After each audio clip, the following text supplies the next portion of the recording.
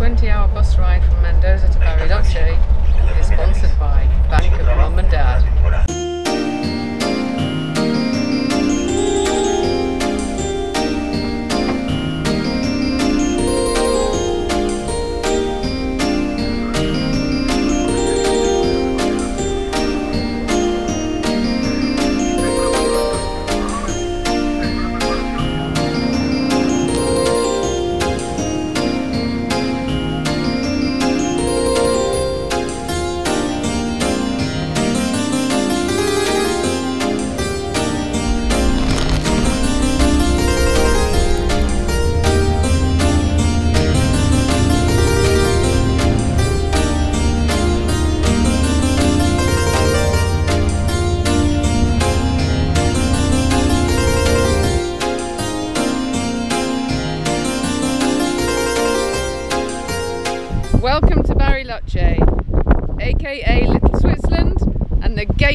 Patagonia.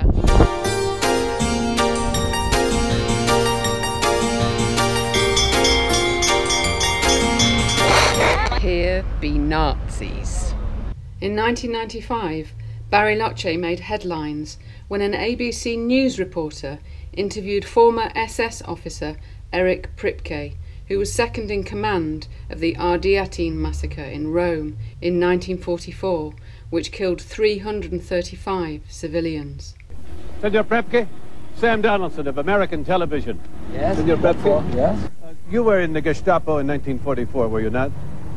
In Rome? Yes, in Rome. Yes. You know, the the communists blow up the, uh, a group of our uh, German soldiers. Yes.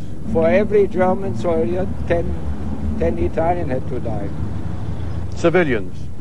Well, civilians, they have been no, they have been morely uh, terrorists. But children were killed. No, not about. 14 year old boys were no. killed. Oh, no, no. But why did you shoot them? They had not done anything. Yes. You know, that was our order. You know, in the war, you know that that, that, that kind of uh, things happened, you know. You were just following orders? Yes, of course, yes, yes. But I didn't shot anybody. But you killed civilians in the caves. No, no, no. You that told was me you were there. Yes, I was there, but that was a thing that was ordered by our command. But orders are not an excuse. Oh, well, at that time, order was an order, you mean, you see. And you carried it out. I had to carry it out, yes. And civilians died.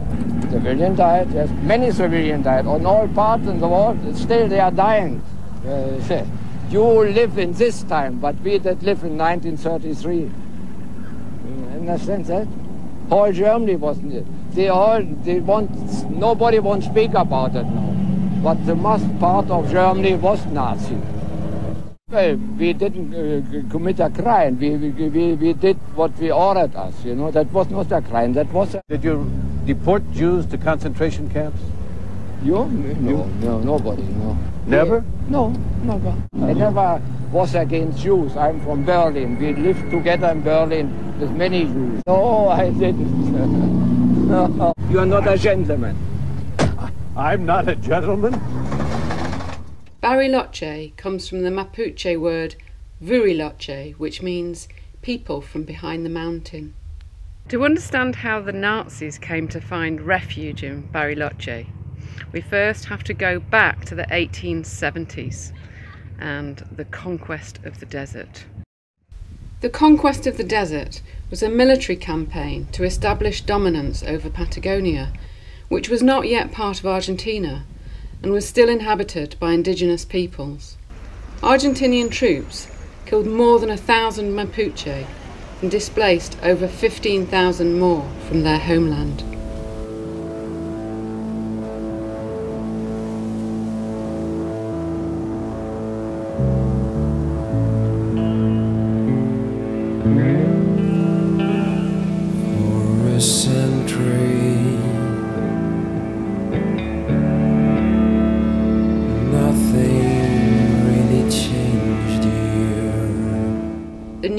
Independent Argentina branded it as a civilizing mission. I hope we now all agree it was genocide.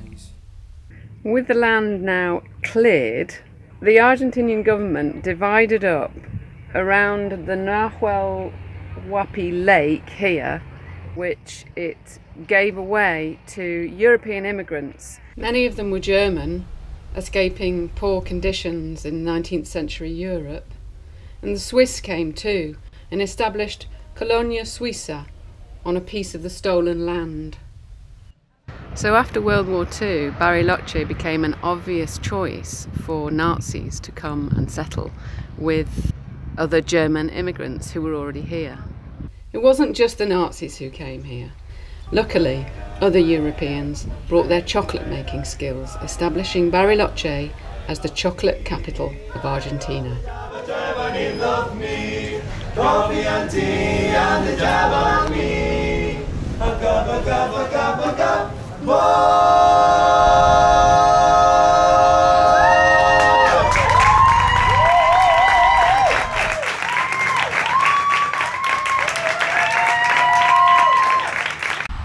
finalmente sepan que el gobierno argentino, la Corte Suprema de Justicia, en 1995 falla a favor de la extradición. Él fue extraditado a Italia y en Italia fue juzgado por este crimen y fue condenado a cadena perpetua en prisión domiciliaria en Italia. Algunos pensaron, si había uno, el que nadie sabía, quizá hay otros, o había otros. Y la verdad es que había otros. Vamos a descubrir.